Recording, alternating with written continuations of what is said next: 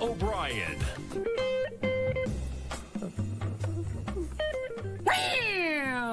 Welcome, folks. This is Tom O'Brien of TFNN.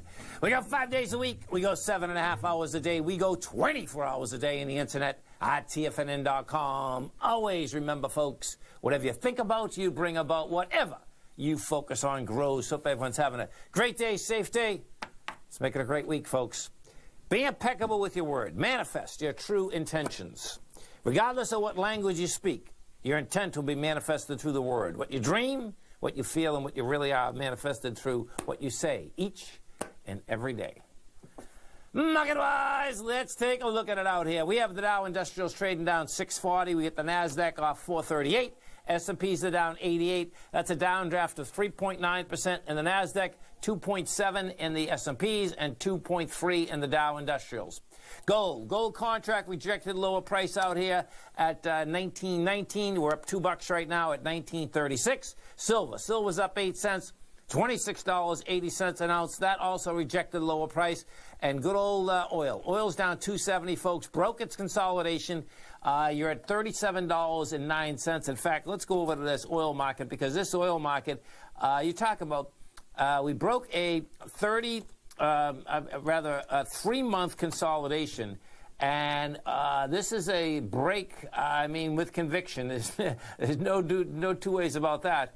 Uh, 34, 30, well, we're at 37. 36 is the next number. Now, if, this, if they, this baby gets into $36, man, you get game again at $22, which is just a mind blower. Uh, $23. That's, that's how this thing is set up. And it is uh, quite a setup uh, inside of that oil market. Of course, that's not helping uh, the energy stocks at all.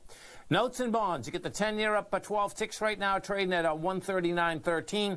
We get the 30 year up 29 at 176.09 in King Dollar. King Dollar is up by 735 ticks, trading out at 93.454. The euro is at 117. The yen is at 106.04, and the British pound is at 129 to 1 US dollar. Our phone number is 877 927 6648. Give us a call, folks. Want to know what's going on in your world. In the world of the S&Ps, let's take a look at. Okay, so what do you have here is this. We get and we take a look at the futures first. What you're going to see inside the future market, folks, okay, is that you have a vicious downdraft. And you have this downdraft after the, the fact that on Friday, market, you know, even still was down, made a nice comeback. Took back a lot of it. This morning, heads down. It tried three separate runs going higher. Now, when you do that, folks, okay, the market runs out of steam if, in fact, you can't make it. And that's exactly what ended up happening inside of these markets. What we did is this, is that you first got the first low that was established out here at uh, 9 o'clock in the morning. They start buying right off the bat. We had uh, we were at 33, 37 in the S&P. Bang, they banged the S&P up, up uh, 42 points, got to 37, 33.79. Come back down again. Didn't have enough juice to take out the low. Come back down again to the 33.42. Then went higher again up to that 32.74. so you, the bottom line, you, you had two separate launches of 30 points. Then what do you do? You give it up in spades. Now the number to keep your eye on right now inside the S&P is 3347. We're at 3339. That number I'm giving you folks was and is the high volume low of Friday. NQs, same type of setup inside the NQs. Uh, bottom line, NQs led us up. NQs, no doubt, is leading us down. It's pretty amazing, you know, uh, how these NQs trade. It always blows my mind. You've heard me say it when they kept going up. It's hard to comprehend of how when these NQs blow apart, man, they just blow apart.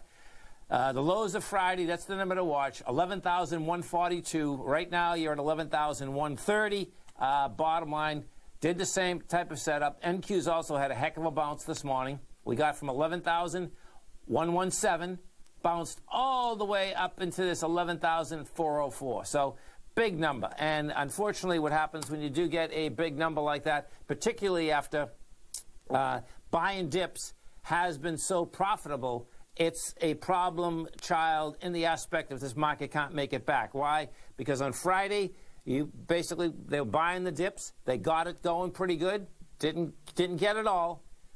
Monday, closed market Tuesday, sold it down, got the rally going, sold it down, got the rally going, and then blew out the lows. What you have there, folks, you have three separate, four separate issues. we talk, talk about Friday that you're buying into it, and now, bottom line, trapped like rats.